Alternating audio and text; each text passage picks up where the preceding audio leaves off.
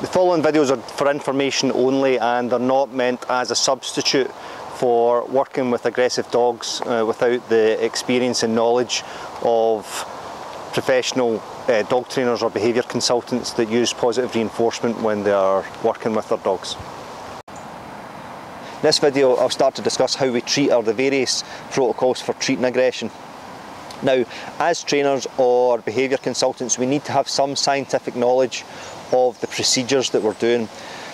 If we don't have a, a scientific knowledge now, we don't need to know all the terms inside out, okay, but we just need to know um, what associations are being made for the dog, or sorry, what associations dogs are making, or what the consequences are for the dog.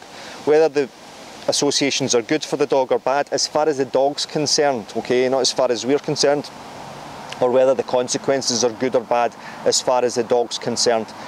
Now, the reason why we need to do that is because if we don't have a proper understanding of them, it, I have found that some trainers, and this is just, it, it's, it's, in broad terms I'm talking here, I'm, I'm generalising, I've found that discussions with trainers who don't have a proper scientific knowledge of treatment protocols, of classical conditioning and of operant conditioning, they tend to, or some of them tend to use more aversive training, okay?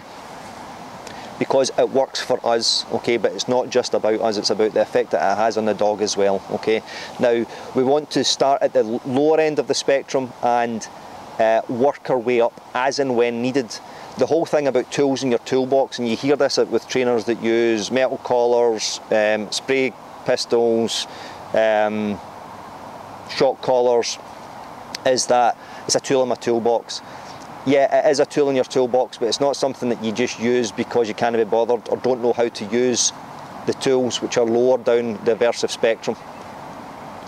We don't always jump in, and nor should we. We shouldn't jump in. We should not jump in at a high level. We should always, always, always start at the baseline, uh, which I'll, I'll, discuss. Okay, so uh, that's just an introduction to why we need to have a scientific foundation for these protocols and uh, I'll, I'll go on to discuss them in the next videos.